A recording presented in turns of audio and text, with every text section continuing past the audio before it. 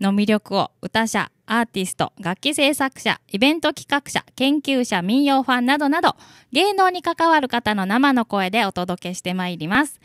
琉球芸能の知らなかった側面にリスナーの皆様と一緒に出会うことができると嬉しいです。さて、1週間いかがでしたでしょうか、皆さん。私はいろいろね、夏休みに入ってますのでね、ちょっと出かけたりはしましたけどね。うん、日々忙しくて思い出せないですけど、何が面白かったかな。えっとね、今日は7月26日は、大宜味小太郎さん、あの演劇のね、沖縄演劇の方ですけれども、命日だそうで、今日はちょっと最初の方でその話をしようかなと思います。あの、今もね、平成耐震座としてね、あの、大宜味翔子さんが、あの、公演されてますけれどもね、小太郎芝居をね。今度また岡の一本松が8月13日に沖縄市民会館で大ホールで上演されますね。えー、何回か前の琉球補聴器さんのゲストがありましたけれども、主催で行われます。これも楽しみですね。も、大宜味小太郎さんというと岡の一本松ですけれどもね、この耐震座っていう対話を、えこれ大宜味翔子さんがゲストの時にお伺いしたんですけれども、大宜味小太郎の王と、うね新三郎さんの新ね、それで耐震座とって大震座っていう名前だったそうで。で、あの、今でも、えー、ずっとね、続いて人気の演目がいくつかあると思うんですけれども、今日ですね、命日なので、OTB の方で、OTB さんの方で、えっ、ー、と、3時50分から、久米島城話が放送されるそうですよ。久米島城話いい話らしいので、私も見てみたいなと思ってるんですよ。今日3時50分から放送ありますので、チェックしてみてはどうでしょうか。あのー、で、今から1曲かけるのは、えー、1939年に、昭和14年に、玉木、玉城正義さんが、う年あの、うの年にちなんで、えー、と、うの年の春、う年の春を大正劇場で初演したそうなんですけれども、その劇中で舞踊が踊られまして、戻りかご。皆さんよくご存知だと思います。未だにね、あの面白い滑稽な踊り。ありますよね、3人のね。2人が男が1人の女を取り合うやつね。カゴに女、美女が乗ってるから。で、このカゴかきが喧嘩するんですけど、取り合いするんですけどね。あれを初めてやったそうで。よくあの、大宜味小太郎さん、うね新三郎さん、八木正夫さんの3人でね、上演されて人気だったそうですよ。では、その戻りかご。お届けしたいと思います。えー、曲の後にね、メッセージ来てますので、読みたいと思います。もういつも読むの忘れてすいませんね。はい、では、一曲お届けしましょう。戻りかご。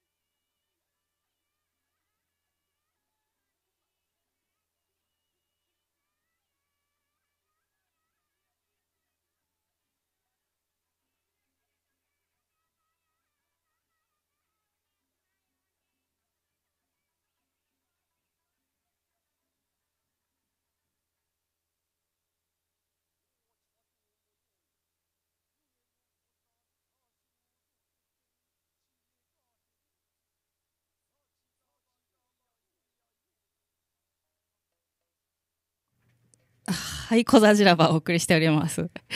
戻りかごね。あの、私もあの、やったことあるんですよ、余興で。面白いですよ。あの、かごかきの役やったんですけど、あの、ルドルドルフさん来てますね、ツイキャス。ありがとうございます。戻りかごって歌舞伎の演目と同じ筋ですか？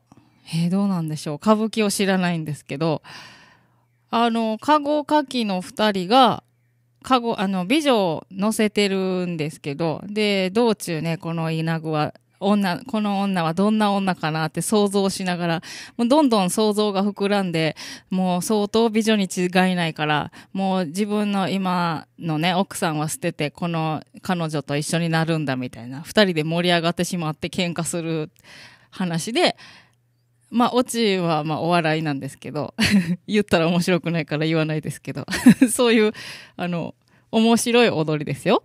はい。えーと、あと、レナさん来てます。エキさん、こんにちは。ありがとうございます。こんにちは。えー、っとね、ルドルフさん、テレビはもう映らなくなって久しいです。あ、ありはするけど映らないんですか？邪魔な感じですね。私もテレビがないので、今日は何とかして久米島城和を見たいと思います。はい。あ、カゴカキが取り合うの同じですけど、あ、そうなんです。歌舞伎にもあるんですね。あの、大宜味小太郎さんね、大阪時代もあったので、まあ、いろいろ、あの、共通していろんな演目あると思いますよ。うん。はい、どうもありがとうございます。では、ちょっとメッセージをね、先週読めなかったのを紹介しましょう。メールありがとうございます。NUJ さん from 横浜からです。えー、田辺姉さんおはこんにちは。えー、っとね、で、ちょっと天気の話はね、もう先週だったんで飛ばして、せえー土日の2日間、東京の夏開きを告げる恒例のイベント、中野チャンプルーフェスタ。えー30度を超える猛暑の中、熱く盛り上がりましたよ。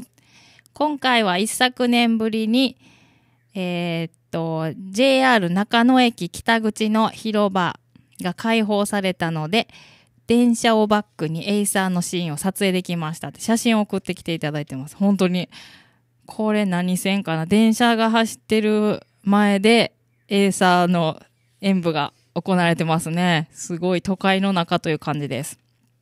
で、今回沖縄からのエイサー団体のゲストは南東原青年会ご一行でした。へえ、そうなんだ。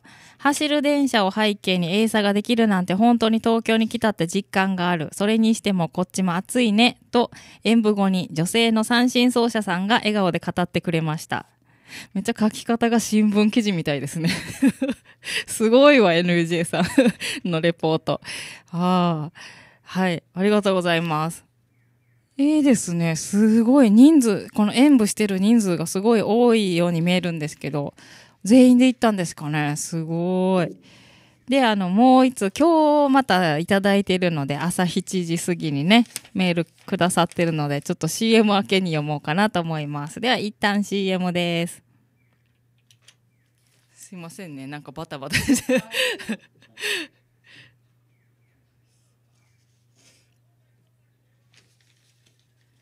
ちょっと CM 明け一通メールを読んでから紹介はいはいどんな流れにしましょうか？これだけは言うというポイントはこのアルバムと。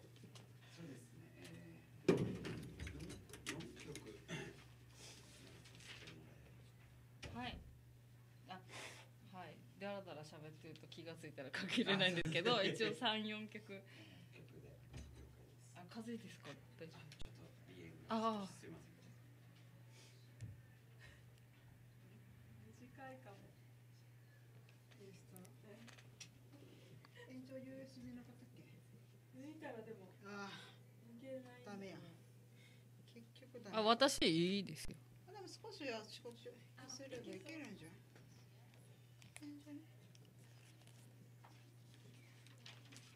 あのあのカメラで撮ってますんで。はい。何か映すときは。あでも生首になっ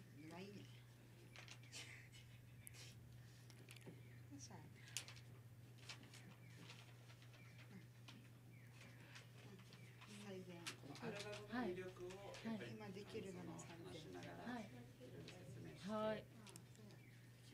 はい。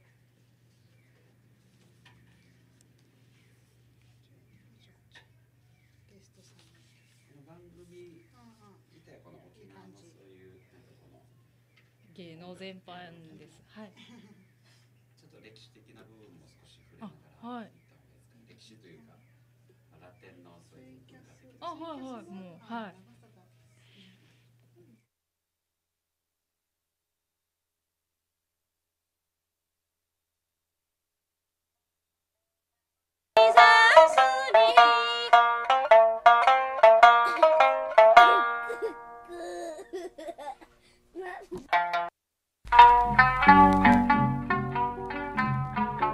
たらめ。これを流すつもりじゃないんです。ちょっと待ってくださいよ。はい、小田ラバーをお送りしております。で、今日ね、せっかく7時台に送ってくださってるんで、NJ さんのメール読みますよ。今日の横浜は久方ぶりにまとまった雨。ああ、そうなんですね。その影響で最高気温30度超えないとの予報が出ています。さて、先週末は素晴らしかった。毎週金曜日夜9時オンエアのコザ独立国マーニンネーランラジオから誕生したユニット、ソンダンチュが東京県産初ライブを土曜夜神保町のダイニングカフェエスペリアで行い大盛況でした。いつもツイキャスで拝聴している歌三振が生で体感できました。しかも日曜は舞台を神田小川町の宮良製麺という食堂に移してエーサー体験コーナーを実施。その後はシークレットライブ観光。またまた盛り上がりました。詳細はまた次回お伝えします。ありがとうございます。最近仕事が忙しすぎて連日真夏日で疲れ気味です。すんまへん。いやいや。いやいやいや、すんまへんって、いや、これだけでも十分ですよ。ありがとうございます。では、帰りにユーストリームで聞きますねって来てます。すごい、ありがとうございます。コザ独立国マニネーララジオね、FM コザの人気番組でも大好きです、私も。それから、あの、発生したソンダンチュというユニットね。いやー、えー、よかったですね。見れたんですね。この、いつも、あの、ツイキャスで見てる感じっていうのはね、私も生でしか、逆に私は生でしか見たことがないので、どういう風に思われるのかわかんないんですけど、こうね、全然違うと思います、やっぱり。びっくりしたんじゃないですか？皆さんの声量の大きさに。すごい迫力だったんじゃないかなと思います。ツイキャスで見るよりも、もうすごかったんじゃないかな。いや、よかったですね。また詳しく教えてくださいね。はい、ありがとうございます。では、ゲストさんお待たせしました。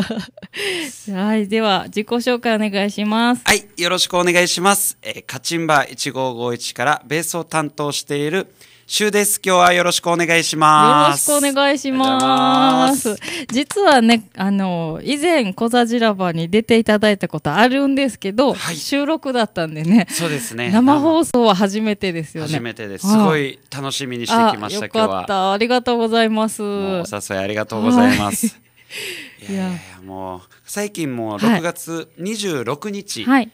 の方に僕たちもカチンバクワトロカチンバのピックアップメンバーでの構成によるはいカチンバクワトロでニューアルバムをリリースしたばっかりなんですね。はい。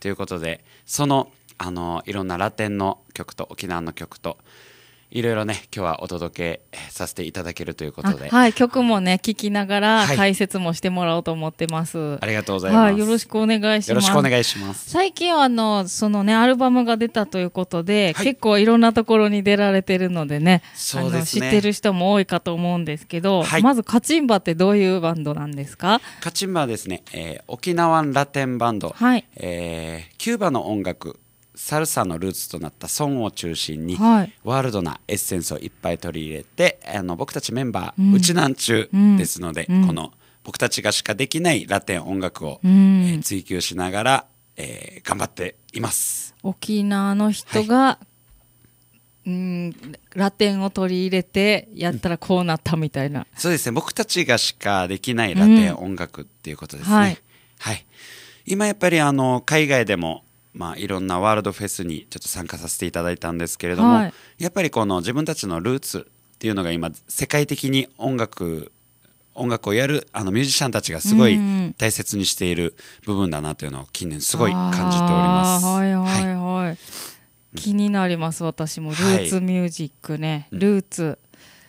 やっぱりね、うんこの外の世界に憧れて、まあね、日本人が洋楽やるとかはうん。よくあるんですけど、はい。やっぱりルーツに戻ってくる時ってあるかなと。そうですね。僕ももともと音楽を始めた時、うん。まあ、ラテンと出会ってからはもうだいぶ長いんですけれどはい。ももともとルーツ音楽がすごい好きで、はい、であのーそのちょうどこの FM 小田さんのはい、小座の方で僕も10代の時あの音楽やり始めの時はいろいろ活動させてもらったんですけあーライどもブハウスとかですか？そうですね。はい。はい、あその時もこの沖縄市ってこのなんていうかロックがすごいなんていうか昔からあのブルースもそうなんですけども、はい。ロックブルースはい。ですごい先輩たちもいっぱいいてその影響をすごい昔から受けていて、やっぱりこの現在のポップスとかロックに至るまでのこのルーツ音楽っていうのは昔からすごい興味があって、はいはいはいでまああのラテンと20年近く前に出会って、うん。そっからあの、まあ、知ったらもう大変ですね。一回知ったらもうどんどんどんどん知りたくなって、うん。今実際にキューバにももう僕自身は3回はい。行かせてもらって、はい。えー行くたんびにいろんなことをあの感じさせてもらっています。へえあツイキャスにササボさんかな？サポさんかな？あサボさんですねカチンバってカチンバクワトロのカチンバってあ来てますはいそうです。はいはい。もともとはカチンバ1551という名前で、えーフルメンバーで今11名います。はいはい。その中で、あの、このピックアップメンバー、そうですね、あの、ベース、パーカッション、トロンボーン、ギター、この編成で、サルサのルーツになった、ソンっていう、へあの、ソンっていう、この、なんていうか、シンプルなスタイルでの、はいあの、えー編成があるんですけども、そのスタイルで、いろいろ県内、県外、海外などなど、えーカチンバの、あの、代表として、いろいろ動き回っています。うんうんうんうん。はい。なのでいろんな編成があるんですね。カチンバの中でも、えー、1551というオルケストラな編成とクワトロというアコースティックな編成。うん。あとはまたそうですね三振のユニットだったり。はい。あとはカチンバムンドっていう編成だったり。もうそうですね 5, 5個ぐらいユニットがありますね。でもあるけどカチンバって言っていいんですか？そうですね。はい。ルーツは一緒ですからね。なのでただアピールの仕方は。メメンバーも一緒でこメンバーは変わってきます。あこの1551の中でのメンバーでうはいはいはい。このあのいろんなユニットがはいはい。編成されてるっていうことですね。なるほどはい。はい。そうなので今回は、はい。あれもカチンバクワトロでのアルバムということで、あのちょうどこのアルバムを発売する経緯に至っては2年前に一度アルバムをあの制作して熱帯高気圧はい。というアルバムをあの制作したんですけども、その時もゆきさん番組出させていただいてありがとうございます。これこれでした？あこれはあのブスカラ・フェリシダといってこのカチンバの フルメンバーで。でもそうですね、はいはいはい。その、えー4年前ぐらいにこれ出したアルバムなんですけども、その後にもう1枚出して今回9枚目となるあの八羽鎌区。はい。え9枚目すごい。9枚目になります、はい。これジャケットの方はこの多分映像をご覧になってる方こあの見れると思うんですけども大城栄天さんといってもうね海外でも大活躍あの県内県外もう素晴らしいアーティストスアーティストです。に書いていただきました八羽鎌区ですね。これは絵ですか？これは絵ですね。へえかっこいいです。そう、うん。これはぜひねあの CD の方も、えー県内あの各レコード店に置いてますので今最近 iTune も配信しております、はい。のでこちらもまた後であの詳細を教えたいと思いますがはい。まずジャケットの方もこ今回のアルバムはまずジャケットで楽しんで音でも楽しんで、ねかっこいいし楽しいしなんかはい。ウキウキする。そうそうそうそう。いろんな方向性ではいはいはい。見て聞いて楽しめるアルバムになっています、今回は。はい。でこの「ハチャーガマク」っていうタイトルなんですね、面白いですね。そう。こちら、えー意味はですね、はいあの、ハチャーガマク、えー、蜂の、この昆虫の蜂うん。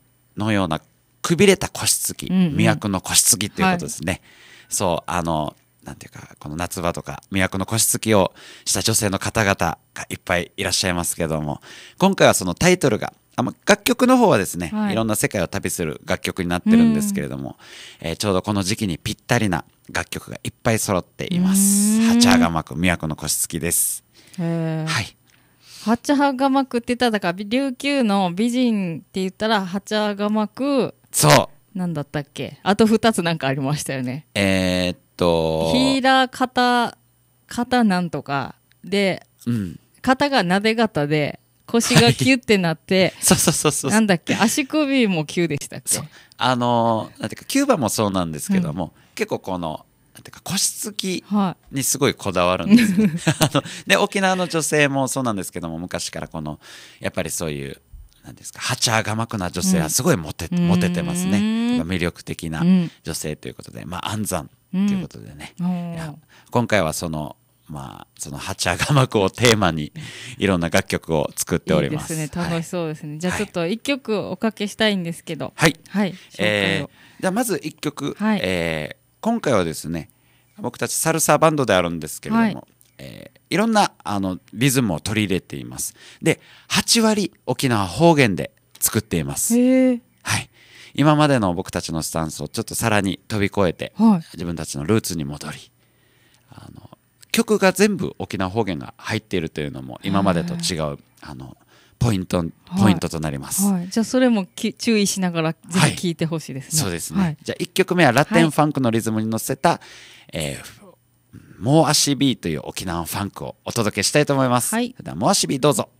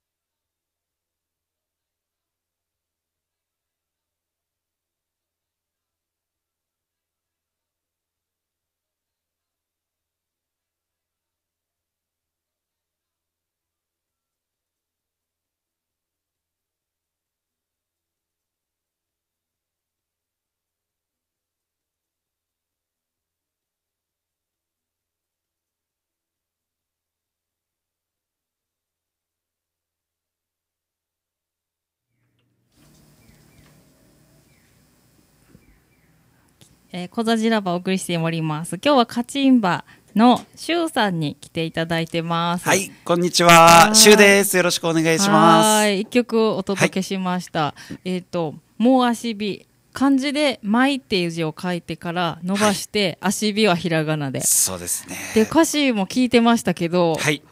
な内縄口となんかわかんない言葉が混ざってましたね そうですね。は内縄口とあのスペイン語ともういろいろ混ぜてオリジナルな言葉にしてるあの歌詞もあります。はあはあはあ、でもめっちゃノリが良くて面白かった。あの真似してこう意味はわからんけど真似して歌いたくなりました。そうですね。ありがとうございます。まあ今回のこの CD のまあ魅力というのは、はやっぱりまあ沖縄方言で作ってるというのもそうなんですけども、うん。全世界のリズムを取り入れています。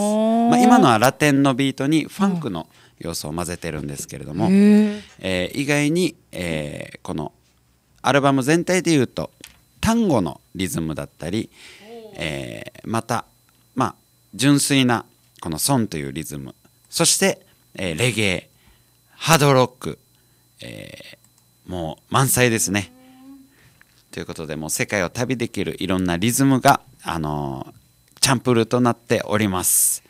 はい。リズムか、リズムは疎いんですけどそうか、はいリズムにもいろいろ世界のこの形式があるんですね。そうですね。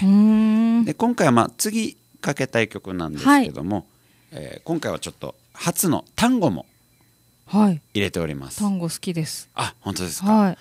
あのこの単語をですねあの僕たちもあの今回は沖縄の方言とかあのその辺をいろいろ使ってるんですけれども、えーこの単語のリズムに乗せてうん。あの吉谷チルーはいはい。ね琉球歌人のはい。吉谷チルーさんの、えー歌詞を引用してこのああ龍歌を。流歌をはい。引用してですね、そのそこにちょっとこのラテンのリズムを入れてみようと。あいうことでいろいろ曲作るにあたって今回はまあいろいろ自分たちも自分たちの歴史もどんどん取り入れながらやっていきたいなとい。う思いもあり、はい。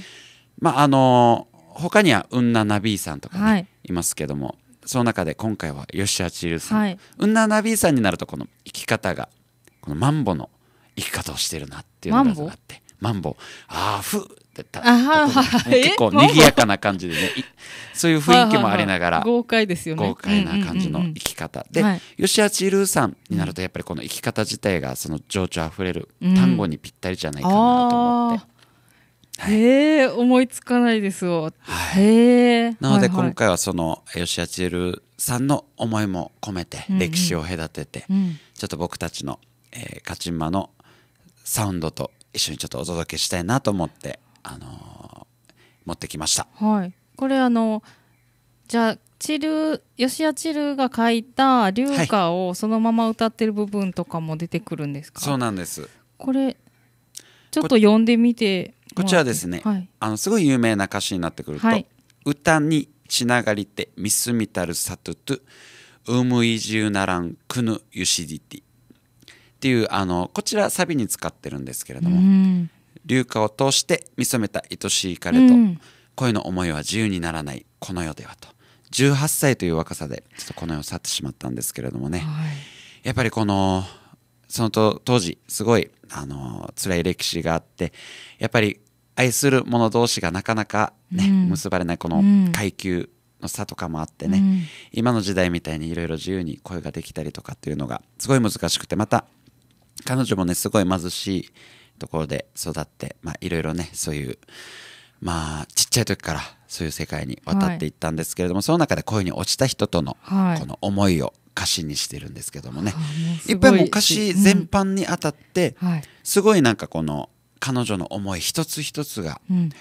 なんかこのそのその当時に書いてる歌詞なんですけどもすごい心に響くんですね、そちらも一度あの歌詞カードも見ながらはい。見ていただけたらなとはいはい。思ってるんですけれども、はい。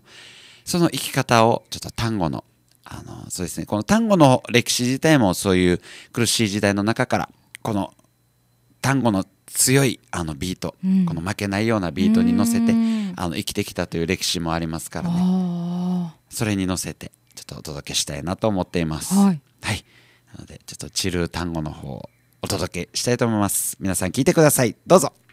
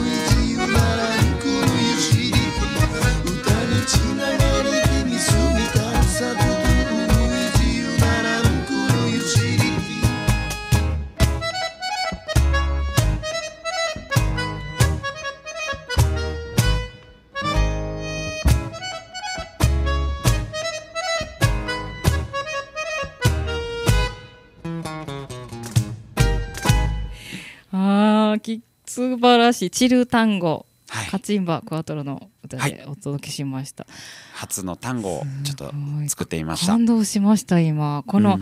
なんていうかこの龍歌はこういう風に歌うとかこういう風に読むみたいなイメージがある強くあるのでそれをこう、うん。壊すっていうのができない想像もできないんですけどすごくもう自分たちの表現を探ってもう作られてるっていうのがすごい分かりました。うん。やっぱりもうこのいい歌詞だったりとか、はい。メロディーだったりとかって時代を超えてずっと残っていきますね、特特にこの時代彼女も、まあ、18歳という若さでうん。亡くなってしまったんですけれどももうその家が貧困でこの8歳の時にはもうちょっと遊郭の方に売られてしまうんですね。でそこからまたあの15歳の時にうん。はその、えー、とすごい美しい方で、でまたこの龍歌うん。もう素晴らしくてうんすごいもうすでに有名になってたんですね、しかしあのその時にまたこの王族の方と恋に落ちたんですけれども、やっぱり身分の差によって、うん。なんかこのどうしても恋が実らないと、うん。それでこの実らない恋に対してまあいろいろな歌詞だったりとかうん。思いとかも、あの先ほどの「あのうむいつながりてうん。みすみたるさと」とあのこのいろんなこの歌詞をそのままねこれが今後世にもずっと残ってきていると。でもこの詩の良さをさらにこう引き立ててたと思います、今の音楽。ありがとうございます。すごい哀愁が、うーん。やっぱりねこの単語とぴったりですね、うん。で今回はまたその、えー楽曲の方にもまた僕たちクワトロの編成の中にもフルメンバーでもあのいるアコーディオン奏者のりなちゃんにも絡んでもらって、この単語をうんまたやって、今回は今回のアルバムはカチンバの4名編成に各楽曲に少しずつスペシャルではいはい。1551のメンバーも入ってもらっていて、うん。サウンド的にもよりルーツルーツを求めて作ってるので、サウンドと歌詞ともにあのゆっくりジャケットを手に取って聴いていただけたらなと思っています。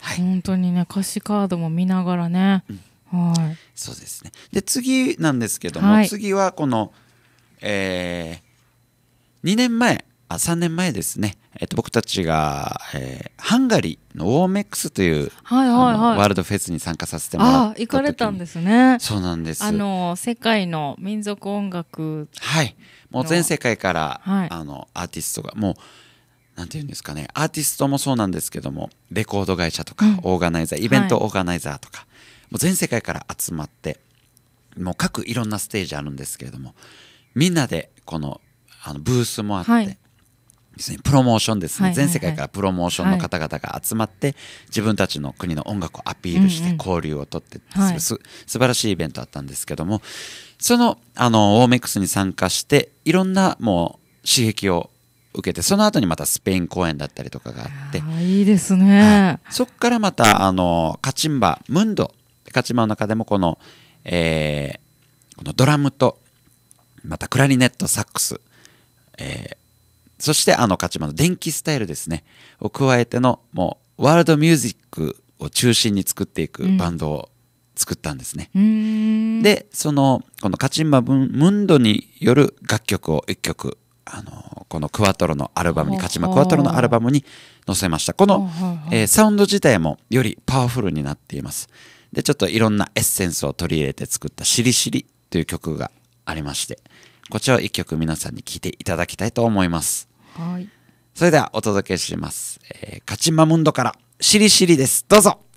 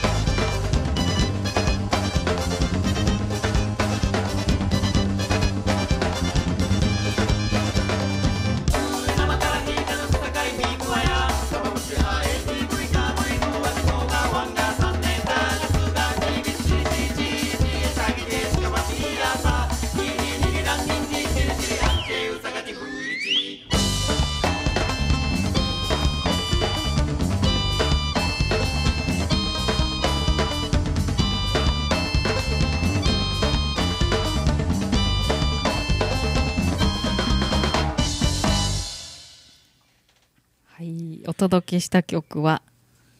はい。しりしりをお届けしました。はい。しりしりしりしり、ね。人参しりしりってありますけどね。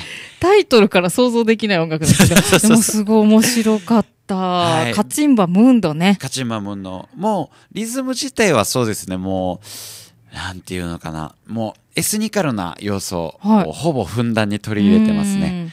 はい。でもあのーなんていうのかな。沖縄の男たちに捧ぐ労働歌ということで。昼夜生から、えー、ヒージャの草かいみくわひゃうん。かもちはえっていうとこのいろいろねなんかこう男たち頑張ろうぜっていうようなねに眠いけど今日も頑張って仕事するか。はいはいはいはい。そうそうそう。そういうあの部分も自分たちに対することも含めまして歌詞は面白おかしく書いております。なるほどね。すごいなんかねあの、ん。ヘッドホンが離せなかったです。あの すごいう次のね段取りも話さないといけないけど、こう展開とかも読めないし 面白くて本当になんか音楽がありがとうございます。はい。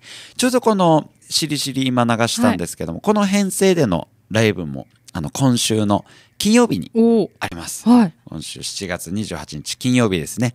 えー僕たちカチンバのお店、えーミルベソスであります。あの、普天間産営はい食品館となる2階になりますけどね、おあのこのオレンジの看板でミルベストってありますので、ぜひ皆さん遊びに来ていただきたいと思います。カリブの料理とお酒と、えー音楽とこの3本柱で楽しめる空間になっています。普天間神宮から歩いてい。12分ぐらいですよね。近いですね。うん。はい。はい。もうあの横断幕もミルベストってがっちりありますので、はい。あのそこであの今週の金曜日、はい。あのカチンマムンドによるライブもありますので、ぜひ生でこの曲も聴きに来ていただけたらなと思います。何時からですか？えー7時オープン、スタートが9時の2ステージになりますね。はい。えー料金の方が1500円という形になっております。私は予定チェックしてちょっと行きますあ、もうぜひおはい願いします。ぜひぜひ遊びに来てください。はいアルバムの中からも楽曲もいろいろあの演奏できますので、はい。で、またあの、僕たちのお店、ミルベソスでも、毎月いろんな、あの、沖縄の音楽もそうですが、はい。ワールド音楽が楽しめるイベント満載でやっています。えー今週に関してはですね、この木曜日、金曜日とイベントも詰まっておりまして、木曜日は、えーノーボーダーサウンドマシンという、こちら、今、えー映像をご覧の方はご覧になれると思うんですけれども、今回はですね、このタイトル、ノーボーダーサウンドマシン、国境を越えた、えーサウンドマシンということで、本当に僕たちも普天間、えー僕たちの地元が普天間になりますので、普天間からね、沖縄音楽を盛り上げていきたいと頑張ってるアーティストさん、ミュージシャン、えーダンサー、DJ、もう本当に若い人たちエネルギーを持った方々でどんどんこのあの沖縄を変えていこうということでうん。もうそうですね2年2年経ちますけどもやり続けてるイベントです。今回は、えー堀内加奈子さん、はい。県県内県外海外で大活最近モンゴルから帰ってきた堀内加奈子さん、はい。そして、えーゆかりさん。あのアートダンサーゆかりさん。ゆかりさんもですねこのオリオンドラフトの CM に出演していたり、えーいろいろあのスタジオザ・ポイントでも活躍中の素晴らしいダンサー。そしてソウルパークルレゲエ界を代表するもう本当にねもう沖縄のレゲエ界にあのすごいインパクトを与える DJ のセレクターの方々をお呼びしてノーボーダーサウンドマシンこちらも木曜日にやっておりますじゃあですので7月27日木曜日と28日の金曜日、両日ともにはい音楽、えー満載でやってますので、うんぜひミルベース遊びに来てもらいたいなと思っております。はーいはい。えーあともしかしたら一曲はかけられそうな感じ。すごいいいんですか？時間は大丈夫です。あはい本当ですか？そんなにはい。流して大丈夫。大サービスですね。もうありがとうございます。あの今回のアルバムは本当に、あのなんていうか、えーまず手に取って聞いた瞬間に、次が聴きたくなるはい。っていうのをちょっと意識してですね。あえーこの曲、すごいあれ次どうなるんだろう。はいはい。ああれ？これ聞いたあ次どうなるんだろうっていう感じでもう満載で楽しめる、えーと思います。はい。ちょっとね、あのー今回の中で異色な、えーさらに僕たちの、あのこれからのカチンバの、あの見見てる方向性としてもその楽曲「ニライハラ」という楽曲があるんですけれども、はい。じゃあねあの遺財法あの遺琉球のはい。そうですね。遺財法この久高島とかで行われている儀式があるんですけれども、えー僕たちがやってるこのキューバ音楽のあのアフリカにあるあの神様の音楽があるんですけれども、はい。サンテリアっていうんですけれどもね。このイザヤ法の儀式とサンテリアの、えーこのリズムとそちらを一緒に取り入れながらアカペラでちょっと新しいこの僕たちが信じる、えーこの五穀豊穣のうん。思いだったりね世界平和を思ったあの楽曲をちょっと作ってみました。うん。こちらを聴いていただきたいと思います、この4曲目の「ニライハーナ」どうぞ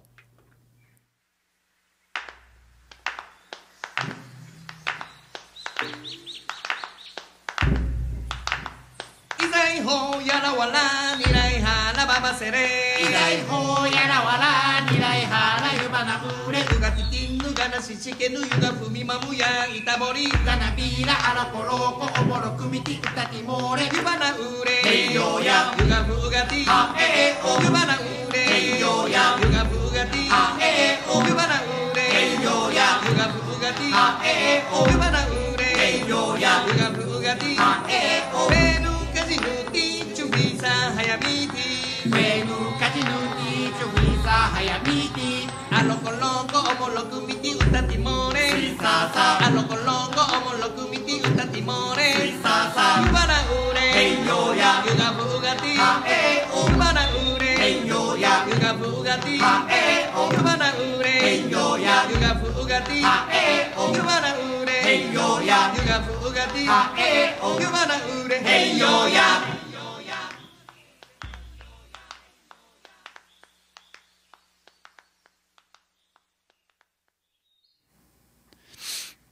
はい、えー、ニライハーラお届けしました。今回はもうアカペラでのこの、えー楽曲をアルバムに入れるの初めてで、ちょっと今からのね、カチンマのスタンスにもすごい大きく影響してくるんじゃないですないかと思っており曲のます。説明聞いてから聞いてめっちゃ意外でした。でもあそうかなるほど、うん。いろんなことが腑に落ちました。はい。そう、やっぱりもうこの僕たちがもうこのなんか目指すところというか、音として世界の人たちとやっぱりなんていうか交流をしていきたいっていうのがうん。昔からの夢で、はい。やっぱりこのそれぞれの文化をお互いに学び合って、うん。そしてあのお互いにリスペクトし合ってなんかこのねいろいろ言葉とかなしにこう実際に音で会話することによっていろんなその人たちの文化の国の文化の背景だったりとかねうん。特に最近はこの台湾との交流も増えてるんですけれども、毎回いろいろこのバックグラウンドとか昔どういうことがあってあだからこういう音楽ができたのかなとかうんいうふうなのをいろいろ考えさせられる機会がいっぱいいただいております。そっかこの前のね、台湾のブヌン族のねね。小学生が来て歌ってくれてたの、はい。ねそこで出会ってねお誘いしたんですけどよかったですよね。なんかやっぱ沖縄に通じるものもあるなと思いました。そうですね。この現象的なものにこう戻っていくとね、うん。そんなに人間変わらないんじゃないかと思いましたけどそうなんですよね、やっぱりそのブヌン族の子供たちもあの、えーあの演舞あのパフォーマンス3部のあサンバの演奏をしてくれたんですけれどもそれがもっとすごい素晴らしくてですね。ねやっぱりもうみんな小学生なんですけどね、はい。このエネルギーはどこから出てくるのかうん。なっていう部分もすごい感じてでまたこのあの教えてるあの講師の方あの小永みどりさんっていうね、あの沖縄を代表するブラジルのあのパイオニアブラジル音楽のパイオニアなんですけれども、彼女がやっぱその子供たちにサンバを教えてるんですけれどもその若いエネルギーが本当にこの音を通してあの僕もすごい感動したんですけれどもね、やっぱり話取れちゃいましたけどね、あとあはい1分です。ああもう楽しくてもうこういう時ね間に、なもっしまいまししたが。たいんですけど。はい、またぜひあの番組に出させてもらえたら嬉しいです、すごい楽しかったです。はい。はい、カチンバクワトロのアルバム、えー、ハチャガマク皆さんネット配信もししております、えー各レコード店にも置いておりますのでぜひチェックしてみてください。よろしくお願いします。はい。今日はゲストにカチンバクワトロからベースのシュウさんに来ていただきました。ありがとうございます。はい、すごい今日もね、あの面白いお話ありがとうございました。興味持った人はぜひ、はい。ハチャガマクはい。よ買って聞いてください。ろしくお願いします。はい、ありがとうございました。どうもありがとうございました。では小座じらば今週はこの辺で失礼します。聞き手は田辺ゆきでした。また来週。ありがとうございました